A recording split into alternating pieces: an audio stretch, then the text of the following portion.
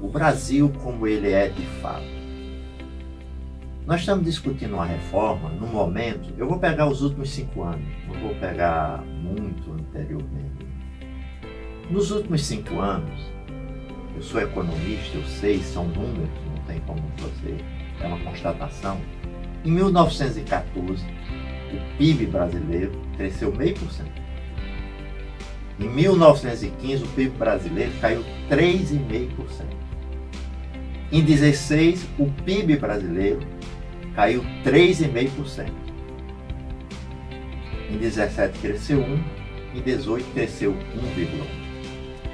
Ou seja, a riqueza produzida no Brasil, a renda produzida no Brasil, é menor hoje, começou 19, mais ou menos 5, 6% menor do que a de 5 anos atrás.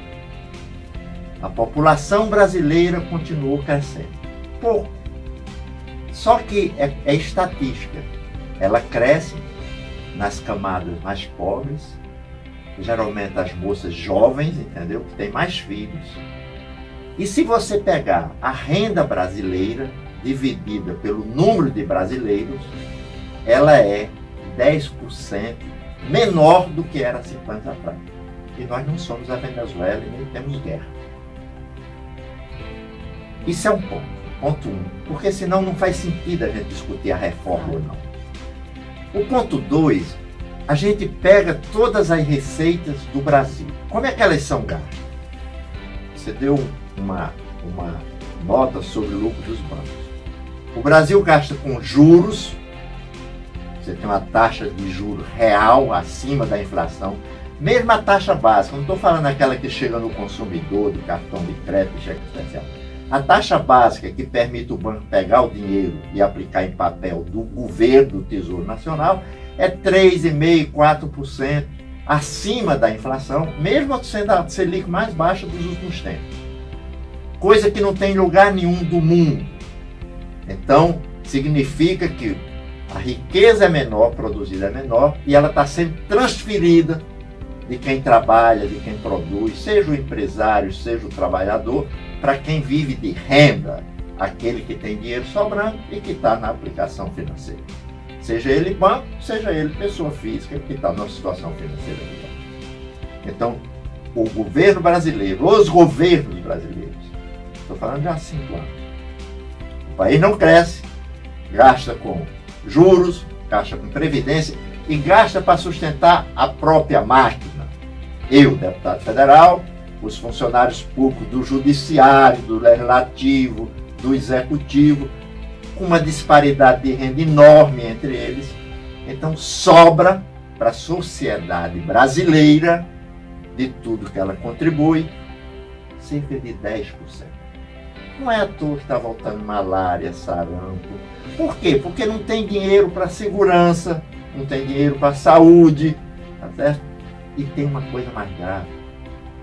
O desemprego não é 13 milhões, é muito maior, porque as pessoas estão se virando do jeito que podem, que pode e atinge principalmente os mais jovens. Você está criando um país.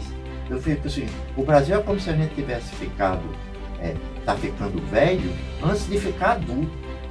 Essas taxas de crescimento desses últimos cinco anos, Ana, pasme, o Brasil cresceu nos últimos cinco anos menos do que os Estados Unidos e a Alemanha. Bom, precisa dizer mais nada, precisa? Então, discutir reforma é fundamental. Porque se você acha que não precisa fazer nada, você deve achar que isso tudo está bem. E não está bem. Pessoal, você precisa estar encastelado, entendeu? Está dentro de um aquário, dentro de um lugar muito. ou fora da terra, fora do Brasil, no exterior, para achar que está bem. O governo manda uma proposta. Ela tem pontos que precisam ser discutidos. Eu acho que uma coisa é combater, tá certo? É fraude, outra coisa é combater sonegação, mas mexer na aposentadoria rural do jeito que está, eu acho que não dá no benefício, na prestação de benefício continuado, do jeito que está, não dá, tá certo? Tem algumas regras de, de transição que precisam, que precisam ser aperfeiçoadas, porque está penalizando muito aqueles que faltam um ano, dois anos, três anos para se aposentar. O cara já está quase chegando. Então, ele precisa ter uma adequação nessa regra. Isso é que, a sério, precisa ser discutido. Se você diz, não, não vamos fazer reforma nenhuma da Previdência, não vamos fazer reforma tributária nenhuma, você pode dizer o seguinte, olha, eu quero que o governo não dê, não dê certo. Minha, minha questão não é o governo, é o Brasil. Então, reforma precisa ser feita. A não ser que você acha que está tudo bem. E pode ser até que para você esteja. Eu vou encerrar dizendo o seguinte, porque eu digo que o Brasil ele tem certos segmentos, seja empresariais, seja de trabalhadores, eles têm uma sabedoria, tá certo? De defender seus próprios interesses, mas nunca dizer assim, pô, eu estou defendendo meu interesse, caramba, é legítimo defender. Mas não diga que está defendendo os interesses do povo. O povo está muito maltratado e precisa que o país mude, entendeu? Para a gente voltar a ter emprego, renda, saúde, segurança, educação de qualidade e principalmente esperança, que é o que nós estamos perdendo, entendeu? Numa velocidade preocupante.